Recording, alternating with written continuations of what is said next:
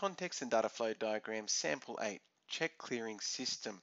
Now, essentially, what is a check clearing system? A check clearing system stores bank checks submitted by customers for batch processing at a specific time. A check is a paper-based document unique to each customer, which they can distribute via their own personalized checkbook, which is provided by their bank. Customers will use checks for financial transactions between other individuals as well as businesses without the need for specific paper-based monetary values, making them popular for large financial transactions. They also make transactions safer as if the check is lost or stolen or contain an error, it can be cancelled in the period before it is processed, as well as traced to accounts that may have uh, used the check or um, an error has taken place and monetary has been given to an account that it wasn't intended for. In order to write a check, a customer needs to write the full name of the individual or business receiving the check, as well as the amount of money they are paying to the recipient in both number and text formats for verification. So if you're giving $230 via the check, you write 230 with a dollar sign, dot, dot, and zero cents. But then you also have to write as well, spell out $233. So T W O H U N, yada, yada, yada, you know, spell $233. Okay, so that's to verify that the number written and uh, it doesn't have an extra O put on the end, you know, when someone goes to cash in that check. And that's why you've got the text written value underneath it. The check is also dated by the customer at the time of distribution. The recipient of the check then takes that check to their own bank for processing in order to receive the payments of funds. So this is the system we're going to look at today. And look, we're going to look at it quite simply as if the recipient and the giver of the check are both from the same bank. Okay, um, by doing so, that means there's no external entity of another bank involved here. We're keeping it simple because it's all internal to the one bank system in order to help you understand this better. Now, I also want to point out to those IPT students out there the use of MICR. So essentially, each check contains specialized magnetic ink that links each check to the customer who is the owner of the checkbook, providing details such as the customer's account and banking branch. The magnetic ink can then be read by a magnetic ink character recognition reader, so MIRC reader, in order to automate the data collection process by the system. So this is when we're obtaining the checks, not processing the checks, obtaining the checks and putting them into the transaction file. So the MICR reader processes checks at speeds of 1,000, 2,000 checks per minute. That's a lot of checks, okay, within a minute.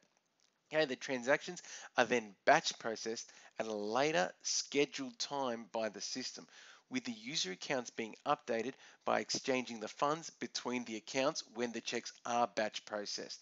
Okay, so not at collection when the MICR is used, okay, but when they're batch processed at the later date. So just to illustrate why they, what this is, and I've shown this before in another video, here's my check and I fill out my check there.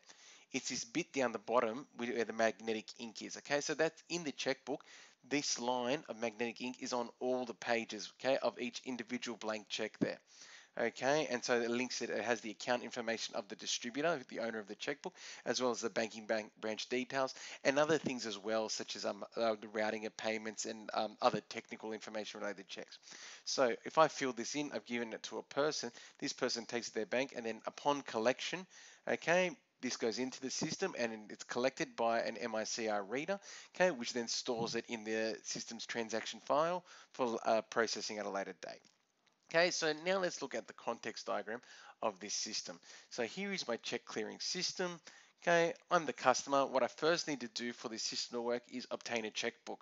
Okay, so I got to firstly give my account details, which is retrieved through my bank card that links me to it. I usually also have to show my driver's license as well to apply for it as well to verify that it is my bank card, but it's actually the bank card that links to my account. From here then, once all the, che the checks are made and it's authentic, the customer gets a checkbook and they can begin writing checks to people. So the customer gives out a check to an individual and we'll call them the check recipient, okay? And then they take the bank check, okay, to the bank, okay? And they give it into the bank. The bank processes the check. In order to process the check, they need to know the account of the actual person who is giving in the check so they can link that actual bank check and the funds that are being given to them to the actual recipient's account. Okay, and then they'll get a receipt of the transaction saying $300 is going to go into your account, and usually that is not immediate, because remember, this is a batch system, but there is still an actual receipt given at this time to show and to say that they have submitted the check, okay, a proof of purchase still, although it is a batch process that will take place at a later date. So let's look at this in the form of a data flow diagram. Okay, so we've got the customer, and as we said, they need to firstly prove that they're a customer of the bank. So they need to usually take their bank card uh, to the actual bank, okay, to access their account, and obviously give their PIN number to, and potentially, as I said before, sometimes show their driver's license as well, in order to access their account. Okay, once their PIN number is entered into the account, okay, it then needs to get authenticated through the account's database. Okay, and once it's confirmed, then we see that this person has an account with the bank, okay, and then obviously we can create them a checkbook. Now, I've said here just launch checkbook, okay? They need to then go to an interface once they've been confirmed as a customer of the bank, okay? And then we say, okay, let's develop a checkbook for this customer, okay? So we develop the customer checkbook, okay, so that they can write checks, okay? And obviously we link it to their account information, which we've retrieved from the account's uh, database. Okay, once the checkbook's created, Okay, we've retrieved their account information from the actual database. Okay, we can then deliver the checkbook to the actual customer. They can begin writing checks to people. Okay, and as we said before now, they've given out checks now. Okay, so we have a check recipient. This check recipient takes their bank check, okay, to the bank.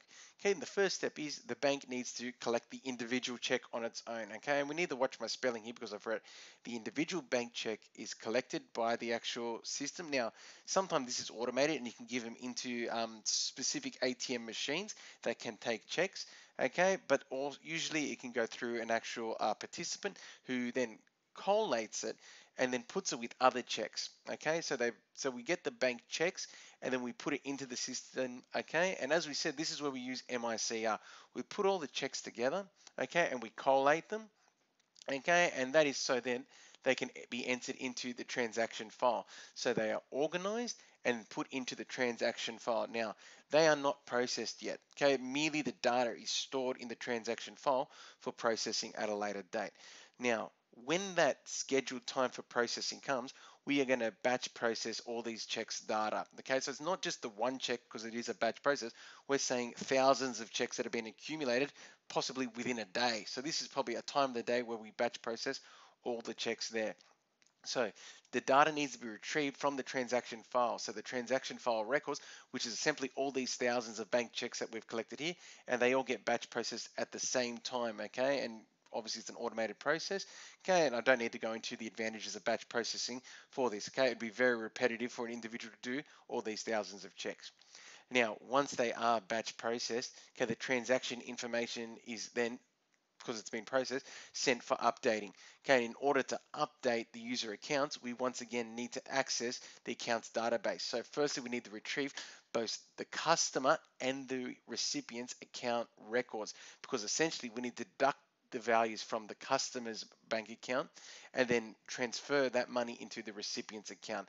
And then that data is obviously put back into the account's database, okay, with the updated account records. So I hope this is giving you an understanding of the actual um, check clearing system and what essentially is happening here what a check is, how checks are used, the advantages of using checks.